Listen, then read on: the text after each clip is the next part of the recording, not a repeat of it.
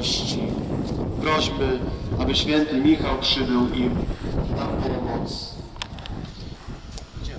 Ojcze nasz, któryś jest w niebie, świeć się imię Twoje, przyjdź królestwo Twoje, bądź wola Twoja, jako w niebie, tak i na ziemi.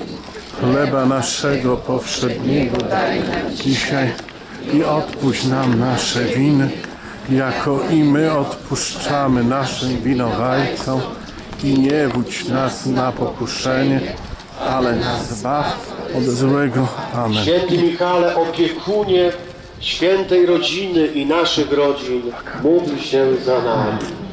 Patronie nasz święty Michale, ku prośbom naszym się skłon. Ucisz świata zburzone fale, niech ciemne moce gromi Twa. Niech w górę podejmą mężczyźni. Prosimy, żeby mężczyźni